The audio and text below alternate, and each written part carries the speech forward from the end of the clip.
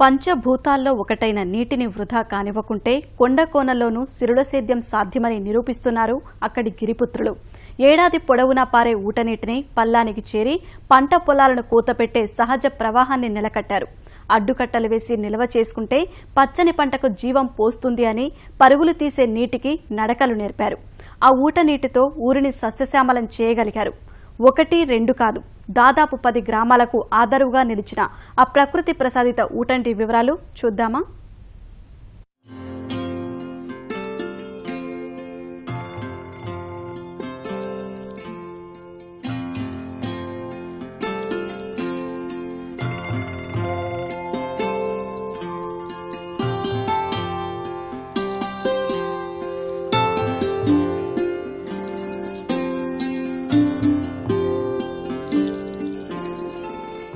ప్రకృతి ఒడిలో జీవనం సాగించే అక్షర జ్ఞానం లేని గిరిజనులు వారంతా. కానీ ప్రకృతి ప్రసాదించిన వనరులను వాడుకోవడంలో మాత్రం పరిణితి సాధించారు విజయనగరం జిల్లా దేవులపల్లి కొండపై నివసించే గిరిజన కుటుంబాల రైతులు.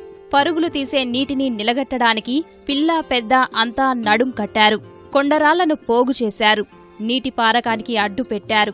ఏడాదిగా వీరు చేస్తున్న ప్రయత్నం ఫలించింది. ఊరికే పోతున్న ఊటనీరు ఊరందరికీ దారి చూపింది. పోడు వ్యవసాయంతో కాలం వెల్లదీస్తున్న రైతులకు నిశ్చింతగా వ్యవసాయం చేసుకునే అవకాశాన్నిచ్చింది.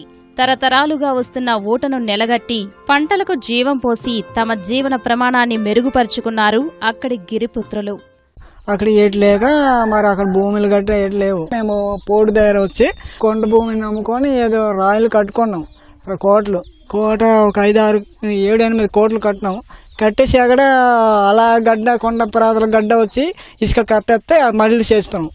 ఆ నీరు అక్కడ అడ్డేసే నీరు ఆవులకి అవే నీరు మాకు అవే తాగడానికి పంటలకు కూడా అవే నీరు. వరి చేను వేసాము మినుము మినప చేను వేసాము సోడి చేను వేసాము జొన్న చేను వేసాము ఒక మూడు ఎకరాలు చేసాము. గడ్డ ఈ వేసేటప్పుడు కూడా నీరు ఇక్కడే మరి మేము బయట కిందకి గట్రా ఏ వలసలు కానీ వెళ్ళలేదు. ఇక్కడే నీళ్ళు తాగడానికి ఇక్కడే ఆవులు కానీ ఇక్కడే మరి పశువులకి తాగడానికి అన్నీ ఇక్కడే నీరు సరిపోతుంది. కాకపోతే అంతకుముందు అలాగ లేదు. పారుగా వెళ్ళేది అవి వర్షం వస్తే వెళ్ళిపోద్ది. మరి ఆ వర్షం తగ్గిపోతే మరి నీరు లేదు ఉండదు.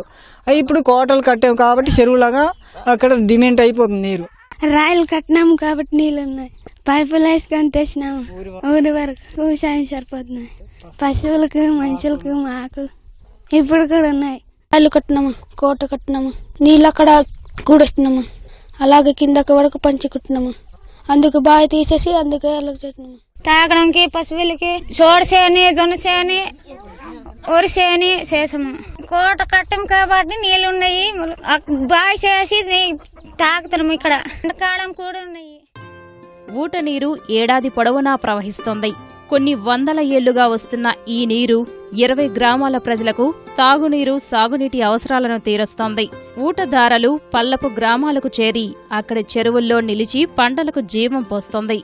ఎక్కడి నుంచి వస్తుందో తెలియకున్నా ఎందరికో జీవనోపాధినిస్తోందని ప్రతి నీటి చుక్కను పదులుపరుచుకొని నీటి కొరతను తీర్చుకుంటున్నామని అంటున్నారు అక్కడి గ్రామాల్లోని రైతులు.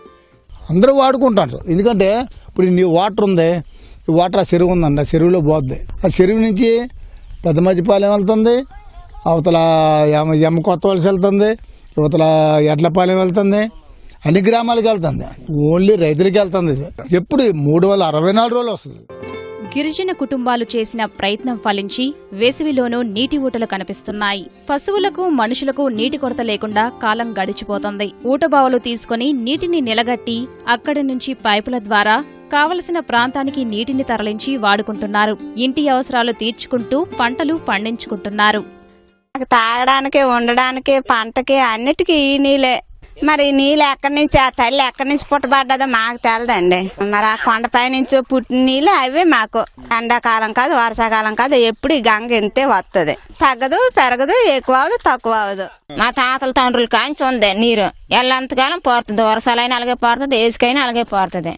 బాగుంటాయి మాకు మాత్రం బాగుంటాయి గిరిపుత్రుల సమైక్య కృషితో ఇక్కడ ప్రకృతి వనరులు సంరక్షించబడుతున్నాయి. జిల్లాలోని అనేక ప్రాంతాల్లో నీటికి కటకటలాడుతుంటే బొండపల్లి మండలంలో ఏడాది పొడవునా నీరు ప్రవహిస్తోంది. ఇది దేవుడిచ్చిన వరం అంటారు ఇక్కడి ప్రజలు. వందల సంవత్సరాలుగా కొండల్లో నుంచి ప్రవహిస్తున్న నీరే తమను రక్షిస్తూ వస్తోందంటున్నారు.